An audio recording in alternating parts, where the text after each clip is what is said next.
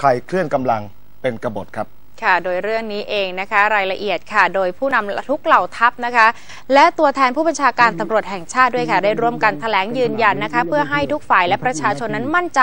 ว่ากองทัพอยู่ภายใต้กฎหมายและรัฐธรรมนูญ ไม่ทำการรัฐประหาร หรือข่มขู่คุกคามให้เกิดปฏิวัติเงียบตามที่มีข่าวลือนะคะ เพราะว่าทุกเหล่าทัพนั้นสนับสนุนการเลือกตั้งอย่างเต็มที่ค่ะ ว่าจะต้องทำอะไร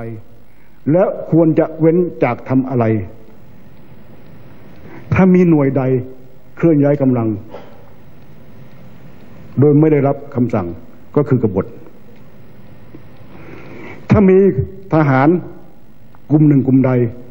ไปเกี่ยวข้องทางการเมือง หรือไปกดดันท่านก็เรียงร้องเรียนมา หากมีมูลก็จะสอบสวนขณะที่อดีตนายกรัฐมนตรีซึ่งเป็นฝ่ายการเมืองนั้นก็เชื่อมั่นนะคะว่าท่าทีของผู้นำเหล่าทัพ จะไม่ทำการดังกล่าว ดังนั้นจึงควรเลิกให้ความสำคัญกับข่าวดังกล่าว และเดินหน้าประชาธิปไตยต่อไปค่ะ พูดหลายคนนะให้พวกเราได้เข้าใจให้พี่น้องได้สบายใจท่านก็พูดหลายหนว่าทหารไม่ทำนานไม่ทำนะก็ต้องฟังฟังท่าน อย่าไปให้ความสำคัญกับเรื่องที่คนส่วนหนึ่งอยากให้ปฏิวัติเราพูดเรื่องนี้อยู่บ่อยไอ้พวกนั้นก็ก็ปล่อยไปนะครับแต่ว่าในแง่ของประชาคนที่นิยมชมชอบประชาธิปไตยนี้ก็ต้องเดินไปข้างหน้า